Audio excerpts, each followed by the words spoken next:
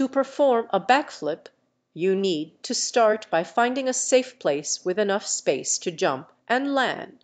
First stand tall with your hands by your sides. Begin by bending your knees and lowering your center of gravity. Swing your arms backwards as you jump up and tuck your knees to your chest. Use your core muscles to rotate your body backward. As you spot the ground extend your legs and prepare to land on both feet, making sure to absorb the impact by bending your knees. It is essential to practice in a controlled environment with the guidance of a trained professional to insure safety and proper technique. Remember, it takes time and practice to master a back flip, so be patient and stay determined.